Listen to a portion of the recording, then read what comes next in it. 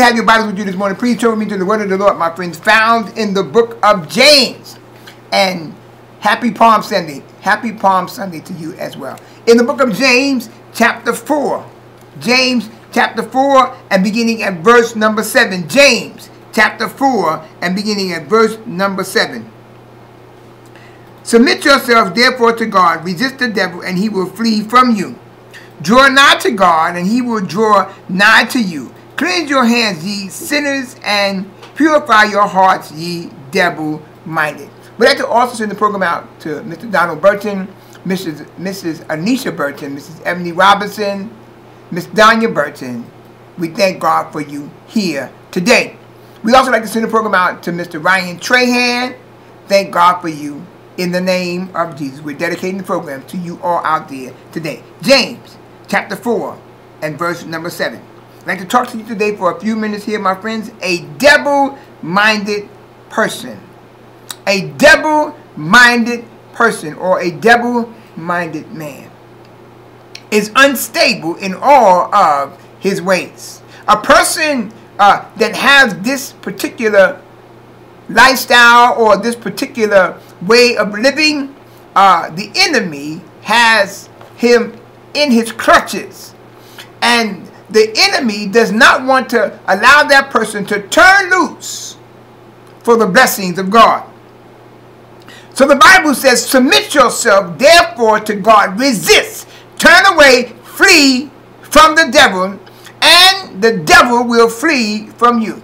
But we find here, amen, that some people begin to think about God, and then the enemy gets into their mind and begin to draw them away from the things of Almighty God. So the Bible says that a double-minded man is unstable. There's no stability. There's no stabilism uh, in that particular lifestyle. When one minute you're thinking one way and the next minute you're thinking another way, that is a double-minded individual. One minute you're in God, and the next minute you're out of God. One minute you're praising God, and the next minute the enemy has you captivated within your mind with something of the flesh. See, our flesh lures us away from the things of God. Mm -hmm. We, we find here that the enemy would uh, have you lured away from the things of God by a shiny car, by a brand new home, by a brand new girlfriend or a brand new boyfriend or something of that nature. The enemy is pulling you away from the things of God. So a double-minded in you got to think one way. You can't have one, you can't have uh, multiple opinions in your mind as to who God really is. There are people out there today that have served God and have even preached and have even uh, grown large congregations and the enemy still uh, infiltrates within their minds and causes them to say that God is not real. But I'm here to tell you, my friend, that when you stand on this word and you take a, a stand against the works of the enemy, against the works of sin, my friend, uh-huh, against the works of sin, S-I-N, against the works of sin, and come out of it in the name of Jesus. The Bible says that a double-minded man, person, individual, doesn't make a difference, man, woman, is unstable. There's no stability within that individual. One minute they're thinking one way, and the next minute they're thinking another way. One minute they're in God, and the next minute they're out of God. One minute they love God, and the next minute they don't know whether they hate God or whether they hate themselves. My friend, the enemy has captivated the minds of multiple thousands of people in our society on today to make them think that God is not real. Look here at the word of God, my friends. The Bible says, submit yourself therefore to God, resist the devil, and he will flee from you. Mm -hmm. Resist him. Turn away. Uh-huh. Don't allow that enemy to get inside of you and to make you think God is a good God. And he's worthy to be praised. And he's worthy to be magnified. And he's worthy to be lifted up. He said, if I be lifted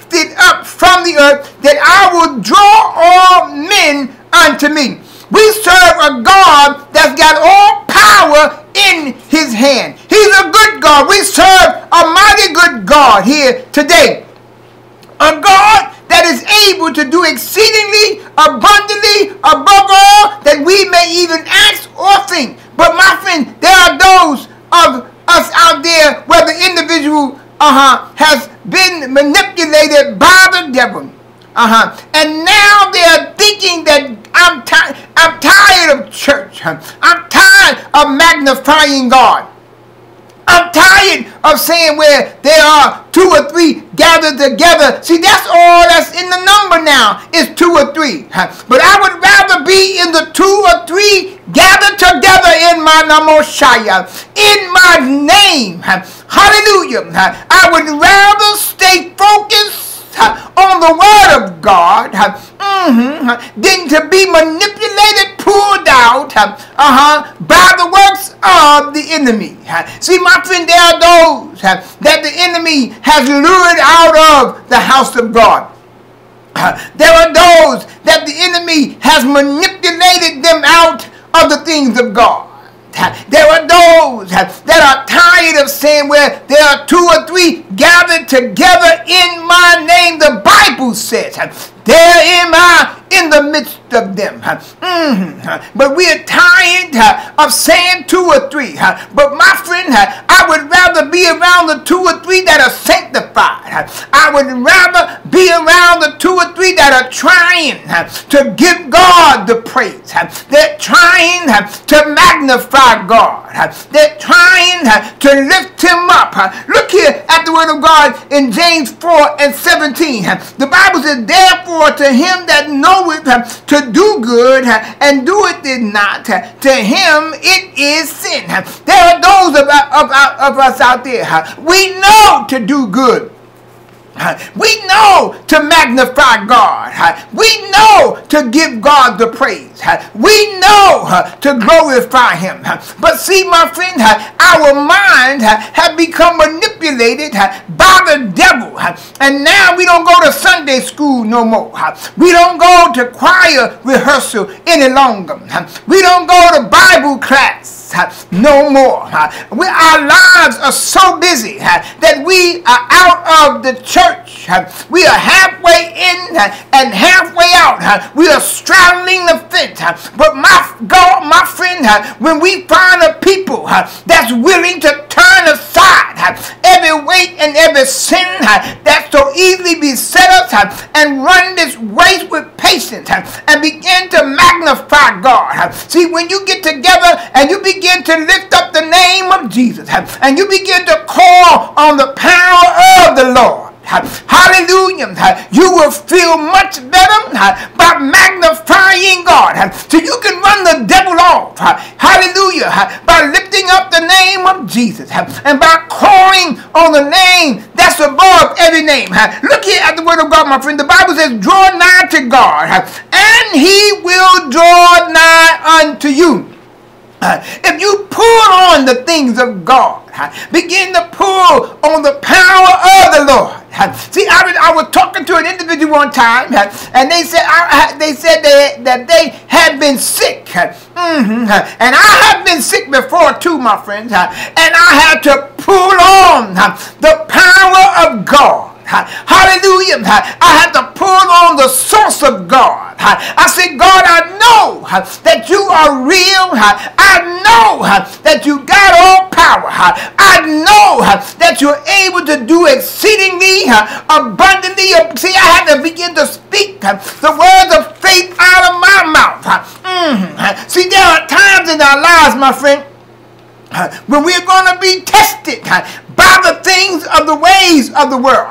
And we're going to begin to say, Lord, mm, I'm standing. That's those that are, are born again. Those that are blood washed. Those that are willing to take a stand for the word of God. Mm, that those that are willing to fight the good fight of faith. See, sometimes the enemy gets inside of people and begins to tell them, stop serving God. Stop magnifying him. You don't have to do that no more. You don't have to do that any longer. See, there the, the enemy is saying, stop praising God. Stop worshiping him. But my friend, when you stop praising God, when you stop magnifying God, when you stop lifting up the name of Jesus, when you stop drawing unto God mm, and begin to draw unto your own mind, the Bible says that a devil-minded man, he's wishy-washy, he's unstable, he's in today and out tomorrow. I've seen so many people one minute they're praising God, and the next minute they don't even know how to get a praise in any longer. One minute they're preaching, and the next minute they don't even know why they even started preaching. My friend, when you start preaching and you start preaching this word, this ain't no part-time thing. This is for life. Mm, this ain't no retirement. Hallelujah. This is elevation. Glory be to God. My friend, I'm here to tell you that the enemy don't want you to serve God. The enemy wants you to have a double-minded man, a double-minded mind, or even a double-minded man. He want to put you around people that say, well, it don't take all of that speaking in tongues and calling on the name of Jesus and carrying out the altar. It don't take all that. Kneeling before God, worshiping God. It don't take all that. But my friend, I'm here to tell you that it takes that and more. Mm-hmm. It takes that and more. It takes that, my friend, calling on the name of Jesus. Hallelujah. See, some folk, when they called on Jesus and they got, see, what they did was, when they got delivered mm, from the thing that had them bound, when they got delivered from that spirit of the enemy, that spirit of witchcraft that had them hoodooed, when they got free from that, then they stopped calling on Jesus. When they got free from that, they stopped magnifying God. My friend, I'm here to tell you that when you get free from the devil, glory be to God, you got to keep going. You got to keep telling that devil, devil, you can't have my mind. See, the devil, he does not just want your body. He does not just want your walk. He wants every part of your life. He wants your body captivated by the works of the enemy.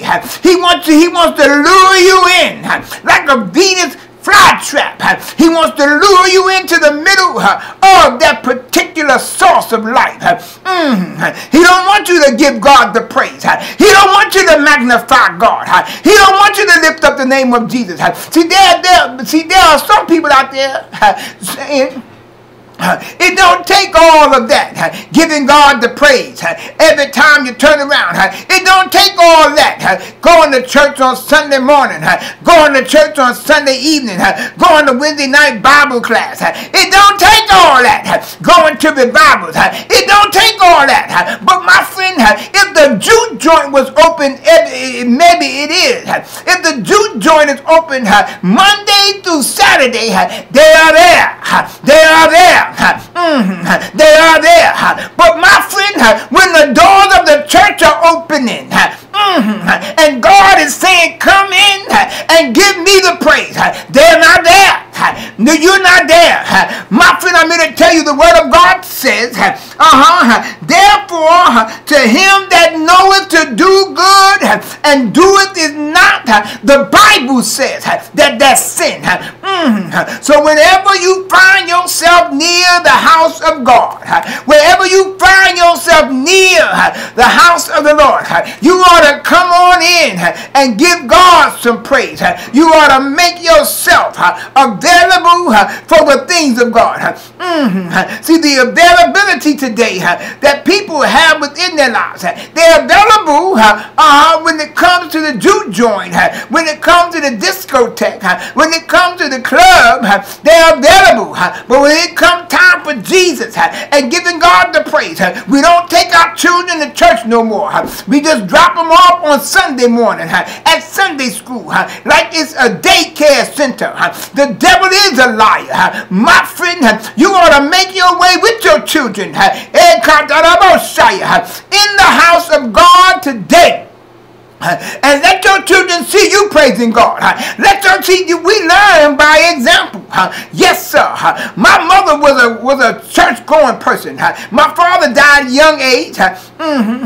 And didn't see him go to church much because he was always working half the time. But my mother was a church going mother. She was a church going lady. She went to church mm, every chance she got. When the doors of the church was open, she was there. And she was grabbing us by the ear and pulling us in. My friend, I'm here to tell you, we are led by the examples that we carry in our lives. So you ought to be there with your children, worshiping God. You ought to be there with your children, magnifying God. I know they get to an age of accountability and they begin to do their own thing. But my friend, the Bible says train, train. Hallelujah.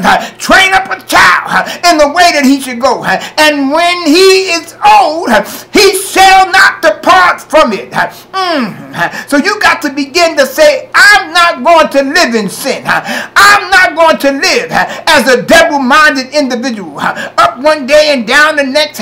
In one day and out the next. Mm. That's called wishy-washy. That's called flaky. And there are many out there today that the enemy is trying to manipulate your mind and cause you uh, to allow the devil uh, to come in. Uh, that's the reason why, my friend, you don't need to, don't let nobody hypnotize you. Don't let nobody put you under hypnosis mm-hmm, and make you think that you're going to get well. Make you think that uh, that you're going to be free from this particular pain because you've been hypnotized. My friend, the devil, he is a liar. Look here at the word of God. My time the word of God, my friend. The Bible says, draw nigh to God and he will draw nigh to you. Cleanse your hands, ye sinners, and purify your hearts, ye double-minded. James was talking to the people and he was telling them to come, come on, come on out of this particular situation and cleanse your life. Allow your life to be a shining example mm-hmm, in these last and in these evil days and begin to call on the name of Jesus while the blood is running warm in your veins. Therefore, to him that knoweth to do good, see, there are those out there that know to do right. You know to do right, but the enemy is getting into your mind and he's telling you it don't take all of that to serve God. It don't take all of that to worship God. It don't take all of that to praise God.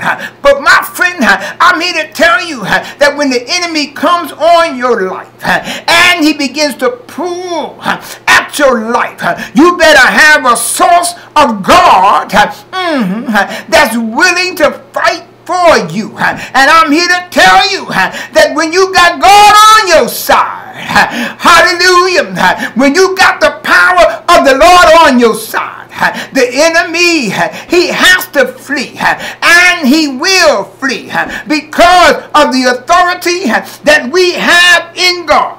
A devil-minded person is unstable, wishy-washy, flaky.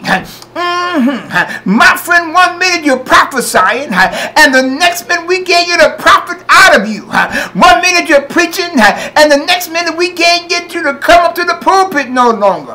My friend, the devil, he is a liar. You better stop playing with God and come on and allow the power of the Lord to get inside of you. There are people out there that need to be shown up saved. You need to be saved today. You need to call on the name of Jesus. You said, Evan McCray, you talking like you're a perfect man. No, my friend, there's no one that's perfect. The one that's perfect, he gone. But he's coming back again. And you better be ready. Hallelujah.